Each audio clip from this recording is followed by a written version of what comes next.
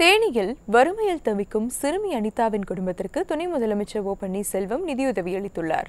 தேனி மாவட்டம் சங்கரலிங்கபுரத்தை சேர்ந்த பதிமூன்று வயதான சிறுமி அனிதா நடக்க முடியாத தந்தை மற்றும் மனநலம் பாதிக்கப்பட்ட தாயாரை பராமரித்து வருகிறார். கல்வி வசதி பெறுவதில் அவதிப்பட்டு வரும் அவரது நிலைமை குறித்து துணை முதலமைச்சர் ஓ பன்னீர்செல்வம் கவனத்திற்கு கொண்டு செல்லப்பட்டது.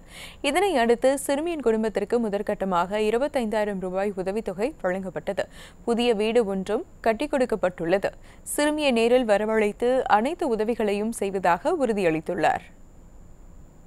நான் சின்ன வயசில் இருக்கும்போதே அப்பாவுக்கு வந்து கிணத்துல விழுந்து ஆக்சிடென்ட் ஆயிடுச்சிருக்காங்க அப்ப அப்போ இருந்தே குடும்பத்தை நான் தான் கொஞ்சம் கஷ்டப்பட்டு போயிருந்தேன். இந்த இது வந்து துணை முதலமைச்சர் ஓபிஎஸ் ஐயா அவங்களுக்கு தெரிஞ்சு அவங்க வந்து வந்தாங்க. வந்து என் படிப்பு செலவில் ஏற்றுக்கிறேன்னு சொன்னாங்க.